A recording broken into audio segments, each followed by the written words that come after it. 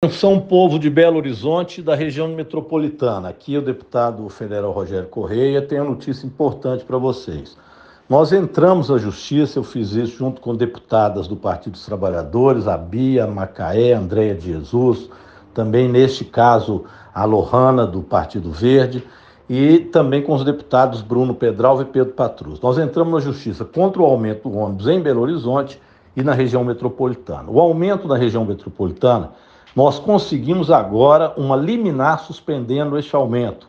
Portanto, o ônibus que está sendo cobrado agora de R$ 7,70, ele volta para R$ 7,20 amanhã.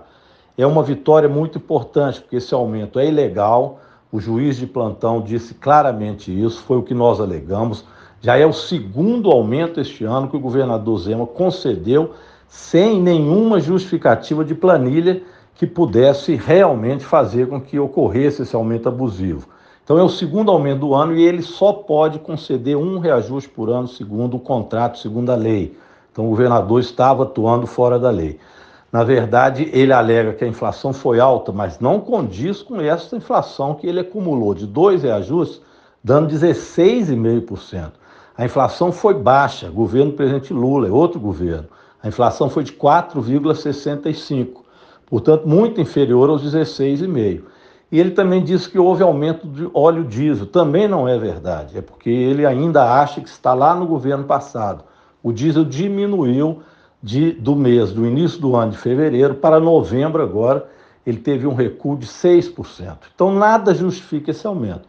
Agora, a gente espera que o presidente do Tribunal de Justiça não vá, na madrugada, conceder ao governador Zema e às empresas de ônibus mais um presente, como foi feito durante é, a vitória que nós tivemos em Belo Horizonte. Em relação aos, ao aumento em Belo Horizonte, dizer a vocês que nós também já recorremos, esse recurso está com o presidente do Tribunal de Justiça e eu espero que ele acate o nosso recurso.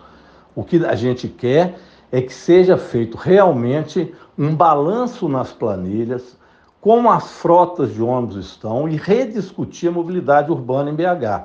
Ter ônibus com péssima qualidade, onde uma senhora tem que colocar uma sombrinha para não ganhar um banho de chuva dentro do ônibus e cobrar a mensalidade e o aumento que eles querem, realmente não interessa ao povo de Belo Horizonte. Nós não podemos permitir que exista uma máfia do busão na região metropolitana de Belo Horizonte e em Belo Horizonte.